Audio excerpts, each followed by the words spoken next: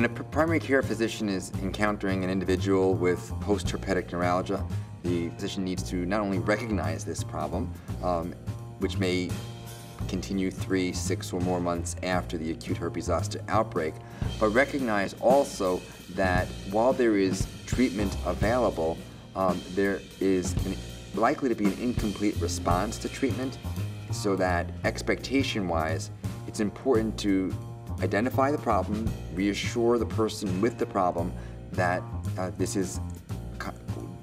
a condition that has come from acute herpes zoster, and also recognize that while there are many treatments available, it's not likely that the pain and other symptoms are going to completely go away.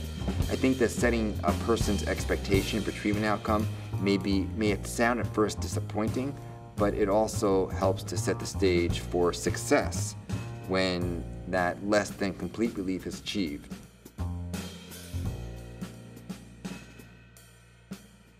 It's also important for the primary care physician to get to a, a, a comfortable level of, of, of what he or she can do when treating this condition. By that I mean single treatment, be, be it non-medical or medical, the, the, use of a single medication, for example, is only likely to get and achieve maybe 30 or so percent relief. It may be necessary to rationally combine therapies, both medical and or non-medical, different classes of medication, opioid, non-opioid in some settings, uh, different classes of medications that may be non-opioid and non-opioid. Uh, and, and, and I think that what's, what,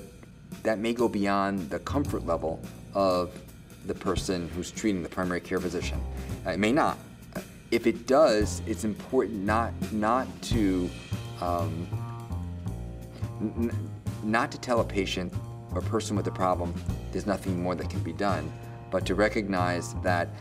I've done what I'm comfortable in doing, and I'd like you to see this colleague of mine who may be able to do more. And I think I think it's important to communicate this game plan so that to, to the person with the problem, with the patient, so that um, when that person is sent to another physician or another provider, it's not as a failure per se, but as an extension of what's already being done to help the person.